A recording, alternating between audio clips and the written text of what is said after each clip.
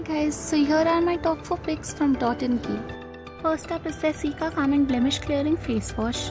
It has salicylic acid which unclogs congested pores and green tea which reduces skin inflammation, irritation and redness. Next up is the Cica Calming Niacinamide Sunscreen. It has SPF 50 PA+++ and it is super blendable with no white cast.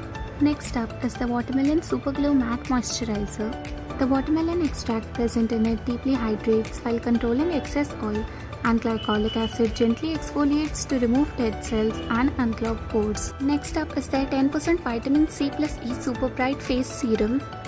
This serum fights hyperpigmentation, evens out skin tone, enhances glow, boosts collagen, treats dark spots and acne scars.